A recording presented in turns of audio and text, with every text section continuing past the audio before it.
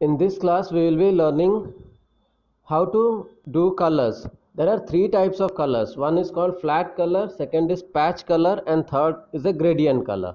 So we will learn how to create these three kind of colors. Create a new file, create a drawing. For example, I create a drawing like this. I create a drawing like this. Suppose I structure it as a leaf, suppose like this. Okay, so now I complete the leaf like this. Okay.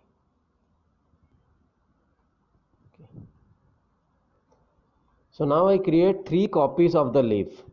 Select the leaf, scale it a little bit like this, place it here, go to edit, copy, edit, paste in center. This is my second copy.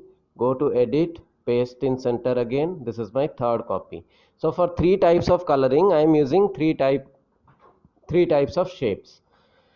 I am using the same shapes, but I will be using different types of colors. So first we will learn how to create flat color. Flat color is you have to go to the fill tool. You have to choose the color from the fill here. You can choose any color like this and click on it. Now you see it is not getting filled. What you have to do is you have to go to this place, click over it and change to close large gaps. Then click on it. Now you can see that it is automatically filled even though there is a small gap somewhere. So this is called flat color. So in colors you are able to see only this much of colors on the screen. Suppose if you want to get the color palette you can click here. You can choose your color of your own. Then click OK. So then you can fill with that color. This is coloring with a flat color. That means a single color. Second is called patch coloring. Patch coloring means suppose what I do. I go to this line tool and I create some divisions over here like this like this so you might be seeing different kinds of illustrations this process is mostly used. Okay. this is called patch coloring like this. So it also depend up, depends upon the artistic capabilities where to put the patch and what should be the color of the patch okay. So i go to this fill tool and i fill it with this color.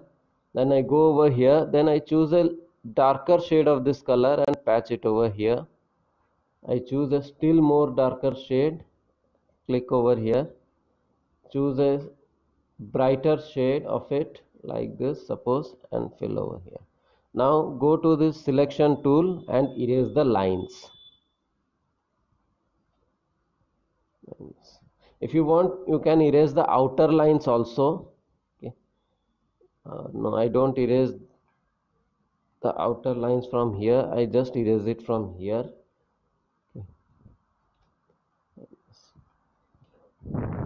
then also you can see the depth in the color.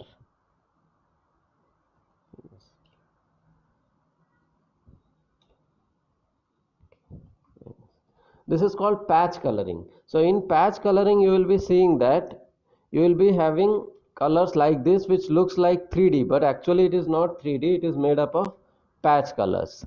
So then we have the third kind of color which is called your gradient colors this is very important. You see how to create a gradient color. Go to the fill tool. Go to windows. Go to color. So in color you are having linear gradient and radial gradient. So we will be learning these two types of gradient in detail.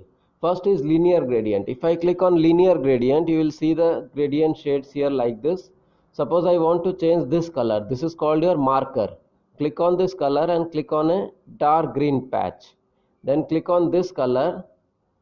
Choose this H here always okay? Choose a light green color patch like this. Now if I click here you can see that this is a gradient color. So this is how to create three types of colors. One is your flat color second is your patch color and third is gradient color so now we will be creating some interesting types of gradients. Suppose I take an oval shape I choose a flat color. Suppose if I create a circle here okay like this. Then I create another circle over here. Click and alt to drag and create a copy. I create a second circle. So then I create a rectangle shape over here like this okay? Then I create another shape over here. Like this.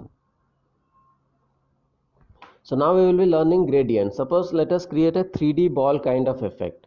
Go to windows go to color go to radial gradient. Now we will apply three markers. One I click over here and I choose a white color.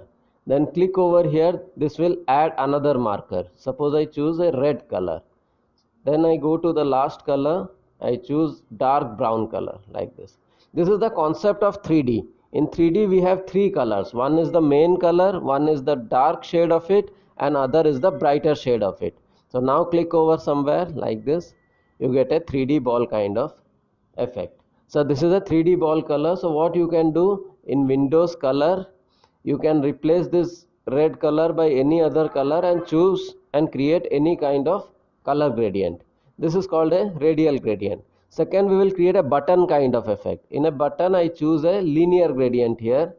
I, I want to remove this white color. So click over the marker and drag it to the bottom. It will remove the marker here I choose a light shade then I will choose a dark shade then I go to this gradient tool and I drag from top to bottom like this okay you can see effect here. Then I select it go to edit go to copy then go to edit then paste in place. Now hold the shift choose the transform tool hold the shift click and drag. Hold the alt also like this. Hold the alt and shift together then click and drag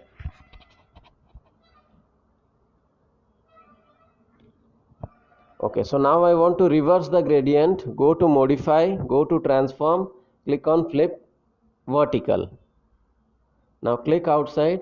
Now you can see a button kind of effect. You can remove the borders here. Click on the border and delete like this. So with the help of gradient i have created a button kind of effect. Okay suppose if i want to create a pen kind of effect here. Okay suppose i choose we go to windows go to color. Here i will choose three colors. One suppose if i choose this kind of color suppose i want to create a patch like this. Second i create white color. Third i create the select the same color like this.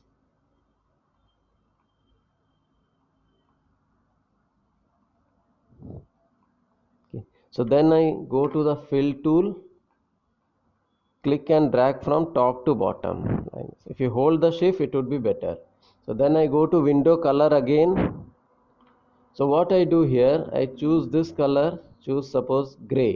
I want to apply a white color shade. Then white again gray. Again go to fill choose from click and drag from top to bottom like this. Okay.